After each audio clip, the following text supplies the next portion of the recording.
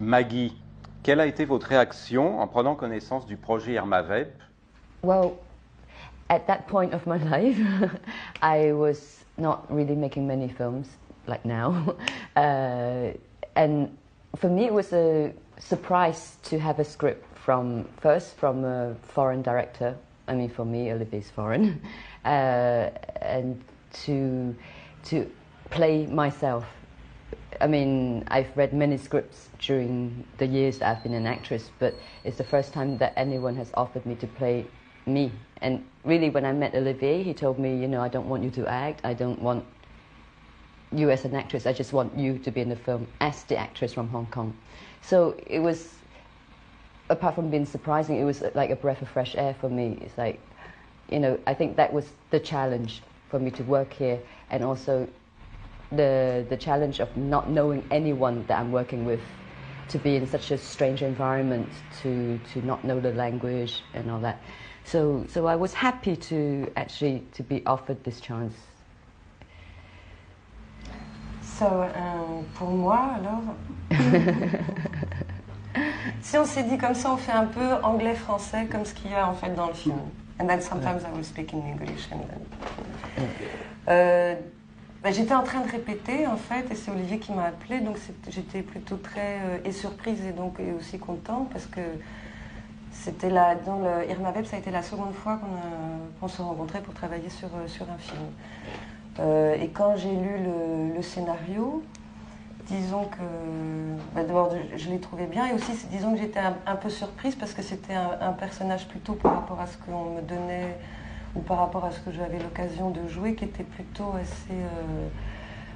Enfin, il avait des possibilités de, de drôlerie qui ne m'étaient pas forcément, que je n'avais pas forcément pratiquées. Voilà. Et le fait de parler aussi anglais et français, je trouvais ça vraiment, euh, vraiment intéressant. Et ça parlait du cinéma, donc c'est ah, parce que le, le film, c'est euh, l'histoire d'un tournage. C'est surtout un film drôle, mais c'est pas une comédie. Voilà.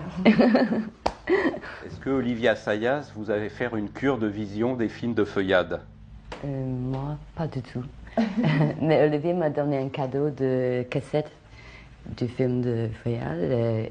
C'est Why, What, When, Who, with un. C'était un très beau cadeau. J'ai vu quelques cassettes parce qu'il en a cinq, je crois, dans le paquet. Euh, je les trouvais très belles, les images. Moi, j'ai des souvenirs en étant petite, en ayant regardé la télé et tout ça, le noir et blanc. Enfin bon, je pense plutôt à, à Fantomètre, mais cet aspect de la, photo, même le, les histoires, euh, elle fait vraiment partie du, oui, d'une enfance un petit peu. Et, de, mais comme le propos d'Olivier aussi, c'était de retrouver la modernité qu'il y a dans ces films, quelque part son explication nous rendait les films de feuillade plus proches, enfin directement proches. C'est-à-dire qu'on ne s'est pas posé la question en fait. Mais ça me fait penser aussi parce que Maggie, elle a joué. What's the title? You know the, the Heroic Trio. Yes. I think he was also inspired by the um, the modern Hong Kong action movies. He saw a connection physically between a part that I played is an action Hong Kong film to the the actress in the Viad films. Mm-hmm.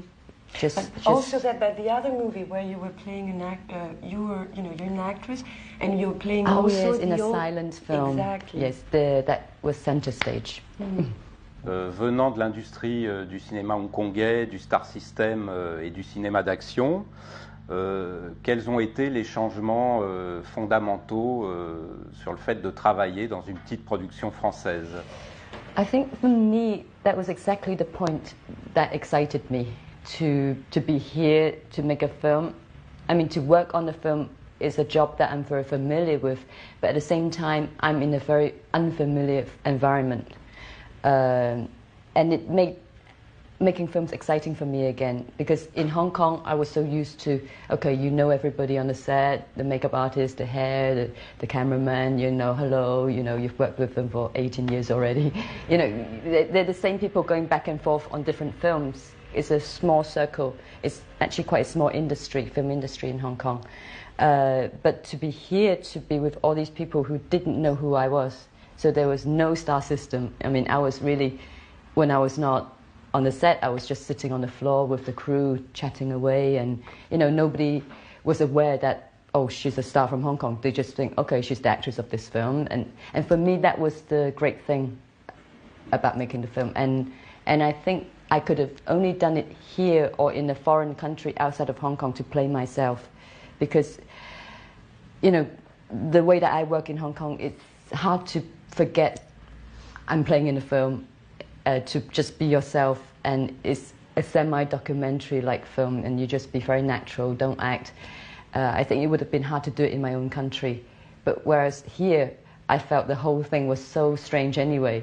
It was easy for me to take myself away from who I was, and be myself to be in a film.